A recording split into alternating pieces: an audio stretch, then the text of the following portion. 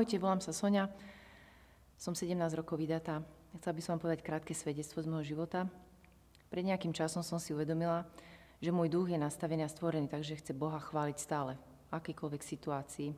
Tak ako aj Adam s Evou, keď boli v raji a mali byť spojení s pánom. Až po prvom hriechu sa začalo diať to, že sa začali obviňovať z veci a to častokrát robíme aj my, že obvinujeme tých druhých okolo nás alebo okolností z toho, ako sa cítime, ako sa máme. A to sa stalo aj mne, keď som po nejakom konflikte s mojim manželom, eh, ktorých teda v manželstve je veľa samozrejme a patria do života manželského, si tak uvedomila, že nemám pozornosť, ktorú by som od neho potrebovala, že som sa cítila veľmi taká opustená a sama, kedy som ho potrebovala, aby bol so mňou, ale mal práve veľa práce a tak, keď sme tak večer už ležali v posteli, on už spal, som si zrazu tak spomenula v tej opustenosti na to, ako zomrel môj tatino. A v tom momente zrazu ma zaplavila taká obrovská vďačnosť v mojom srdci za môjho manžela, za to, že vôbec tam leží vedľa mňa, že je, že som si zrazu uvedomila, že on je len jeden jediný na tomto svete, že už žiadny iný by tu nebol. A začala som chváliť Boha a ďakovať mu za ňo, za všetky jeho dobré veci, vlastnosti, za všetko, čo pre nás robí. A celá táto vďačnosť a táto chvála vlastne spôsobila to, že tento konflikt a tieto moje pocity v mojom srdci začali byť zrazu úplne také maličké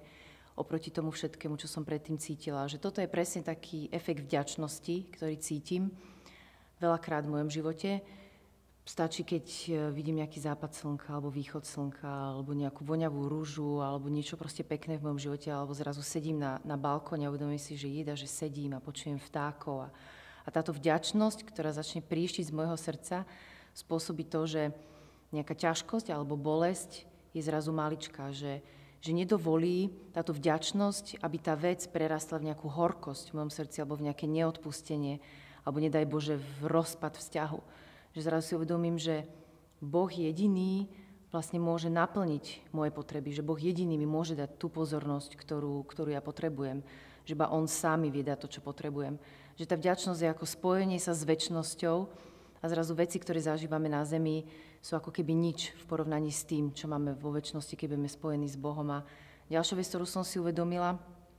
bola to, že nemôžem obviňovať uh, tých druhých za to, čo robia, že ja sama som tá, ktorá môžem ovplyvniť okolnosti, že ja som tá, ktorá uh, môžem dať tú pozornosť, hej, možno práve keď ju nemám, že ja som tá, ktorá môžem byť vďačná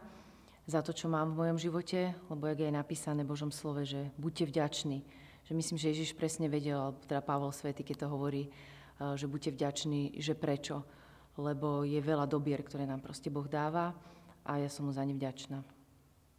Už pár sekúnd z tvojho života môže zmeniť iným svet. Zdieľaj toto video a staň sa aj ty šíriteľom dobra vo svojom okolí.